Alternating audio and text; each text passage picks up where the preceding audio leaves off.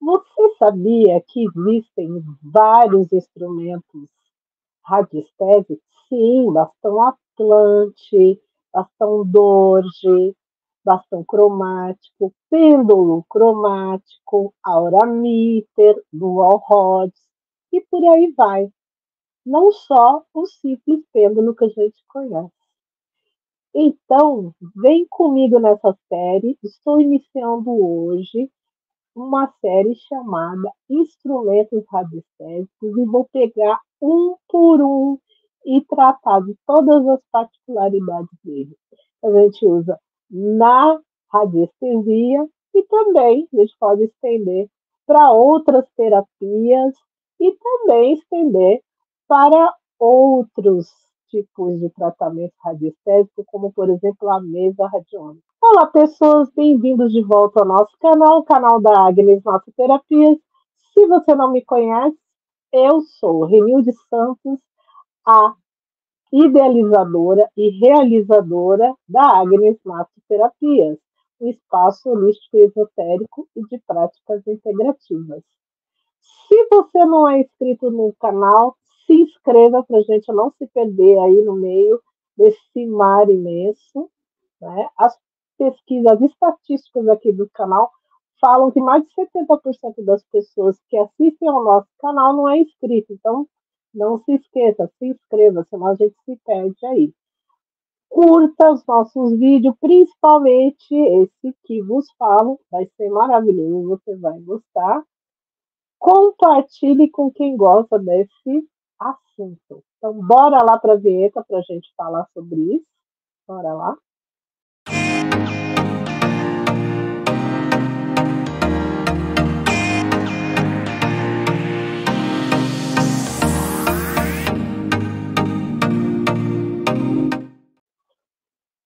Então, pessoas, a gente tem é, o hábito de pensar, quando fala em radiestesia, já vem na nossa cabeça pêndulo, na é verdade. Eu tenho dois vídeos sobre pêndulos aqui, tá? Dois, não, três. Inclusive um que é a utilização em mesa radiônica, né? Os movimentos dele. Eu vou deixar aqui e aqui no card para vocês. Então, eu tenho três vídeos sobre pelos, explicando né, quais os principais, enfim, fórmula, forma de você né, treinar ali seu pêndulo, né? Você deixar ele calibrado para você, e enfim. E quais os movimentos que a gente se utiliza na mesa radiônica. E a gente tem o hábito de pensar que é só isso. Tem pessoas que pensam, nossa, será que é um encantamento né, de, que acontece? E aí o, o, o pêndulo começa a mexer, ah, tá mexendo a mão, né? Tem o hábito de achar que é só pêndulo que a gente mexe e que acontece, e isso e aquilo. Não, gente. Os instrumentos radiestésicos, foram feitos, né? tem coisas que datam de, de antiguidade mesmo, a gente vai falar aqui um pouco, e tem coisas mais atuais que foram feitas por radiestesistas, então é muito testado, é muito estudado, não é uma coisa assim, mesmo das antiguidades, é muito testado, e tem é, radiestesistas muito famosos, né, que pesquisaram bastante, foram atrás de muita coisa, que acrescentou muita coisa para a gente, como Antônio Rodrigues, por exemplo, e fala né, que o pêndulo tinha que ser na medida, no material certo, né, para gente, para que ele funcionasse. E isso não é feito assim aleatoriamente, né, é pesquisado, testado, é muito bem estudado as coisas. Tá? Então não é nada místico, não é nada aleatório. Essa série começou com a minha querida aluna, né, que foi minha aluna de Floresta Saint-Germain, pedindo para que eu fizesse um vídeo sobre o bastão Atlante. Então, nesse primeiro vídeo, eu vou falar sobre o bastão Atlante e o bastão Dorje, que eles são muito parecidos, mas diferentes, existem diferenças entre eles, tá bom? Então, é, foi através deles, né, através dessa minha aluna. André, um beijão para você, gratidão.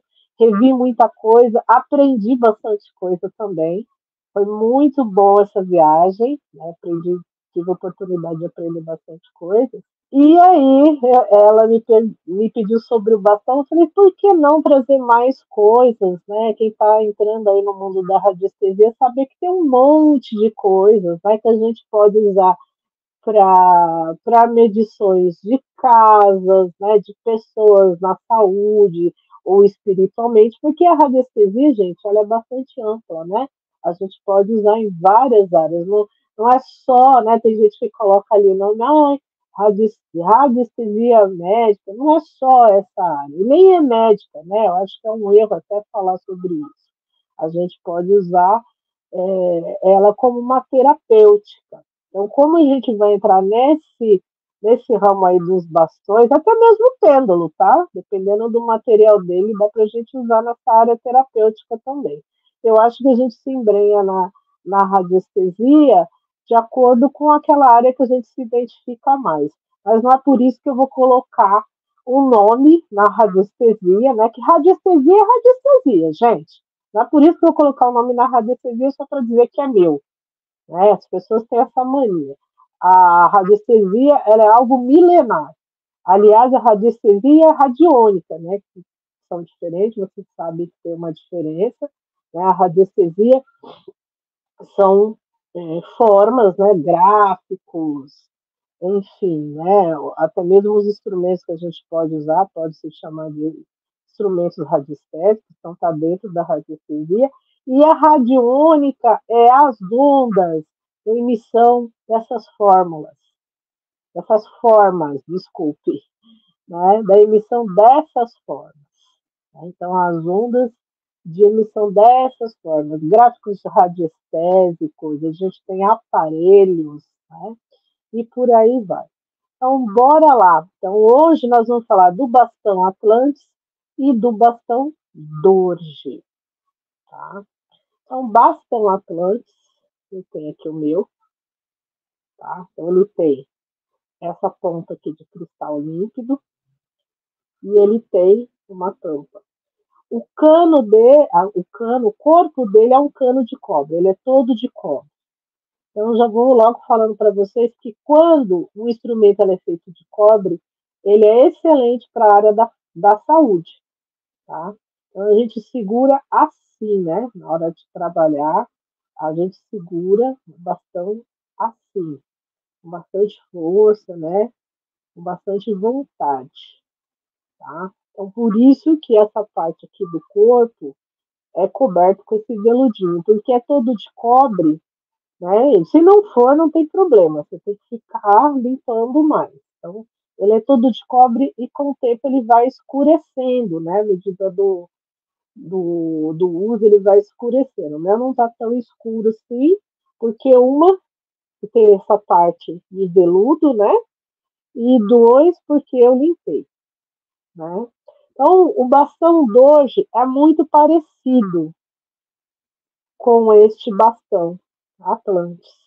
Apesar das pessoas fazerem confusão, né, o bastão doge com o bastão Atlantis, né, a diferença é, o bastão Atlantis, ele vem bem antes, né, vem da Atlântida, quando chegou ali no Egito, ele ganhou o mundo, né, como diz né, o próprio nome é Atlantis, né, porque vem da Atlântida, que é uma antiga civilização que se utilizou de várias coisas, né, a radiestesia radiônica era uma delas, e todos os instrumentos radiestésicos e gráficos também, gráficos que a gente tem até hoje, né, que data dessa época.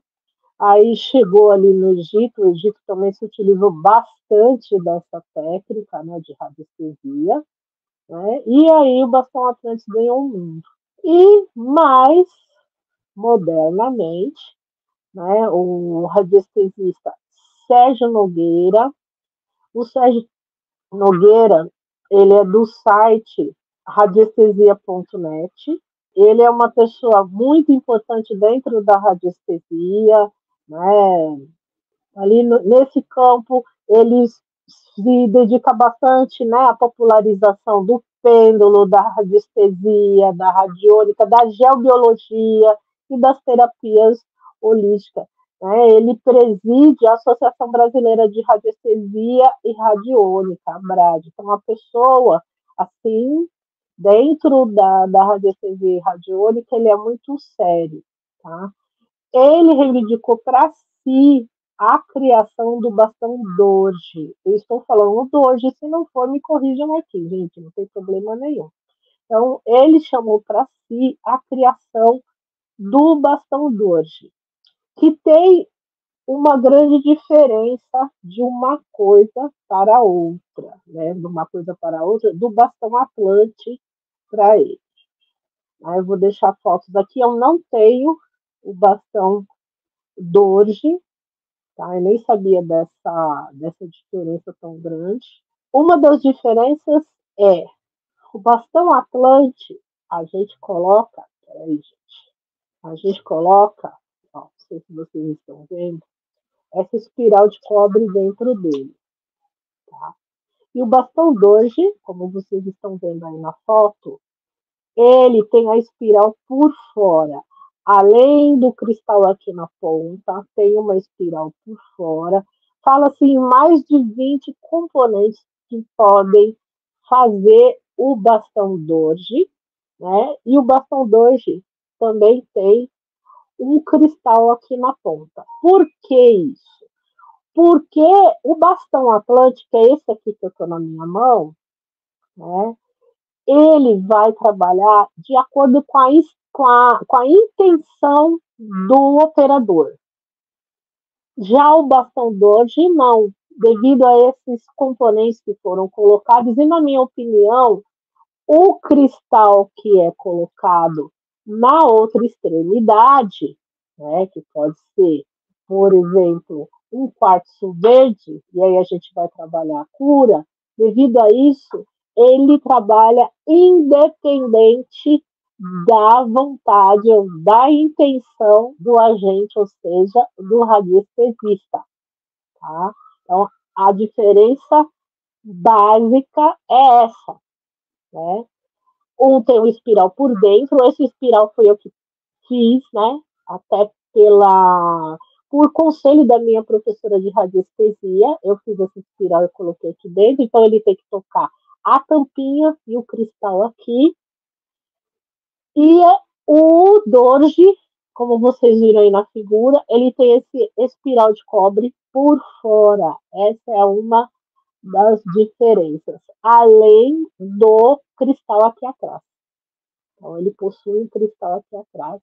E ele já vai, né, por exemplo, se eu estou com, com um bastão desse, né, aliás, um bastão doge, com um quartzo verde que trabalha cura, então, eu vou trabalhar a cura de, de tudo que eu for trabalhar ali, né? A cura da pessoa, dos chakras, de energia intrusa. Então, basicamente, eles trabalham isso, né? Alinhamento de chakras, né? retirada de é, energias intrusas, né? limpeza de chakras, né? corpos, né? A gente pode trabalhar também é, essa parte de deixar a pessoa mais é, relaxada, a gente pode fazer relaxamento através dos bastões, né?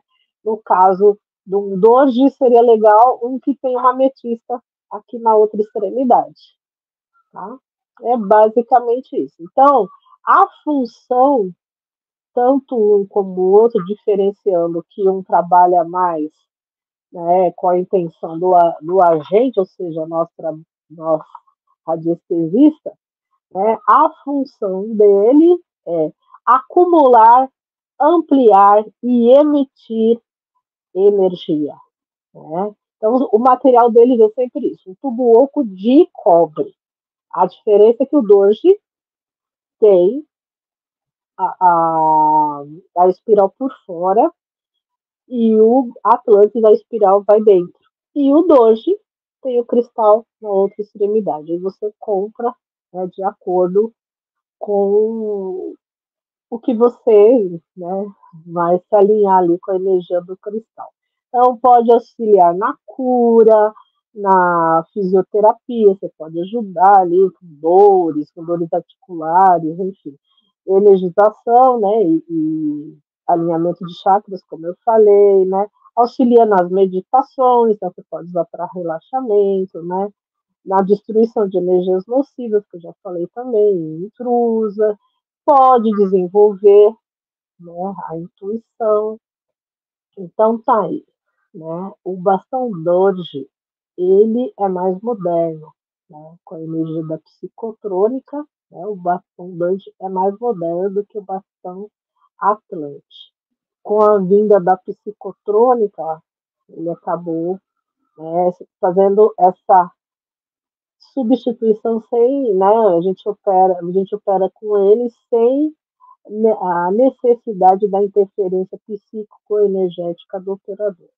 Bom, espero que vocês tenham entendido né, sobre o bastão, a diferença do bastão Doge o bastão Atlantis, né, como que a gente utiliza. Qualquer dúvida, deixa aqui embaixo na, nos comentários, né, se você tiver mais alguma dúvida, se tiver algo a acrescentar também, deixa aqui embaixo. Né. A gente ainda tem mais vídeos pra, pela frente. Eu contei aí uns sete, mas dependendo né, dos comentários e das dúvidas, podem acrescentar.